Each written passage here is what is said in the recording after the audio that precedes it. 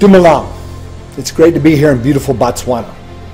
Proud of the strong military relationship that we have with the Botswana Defense Force.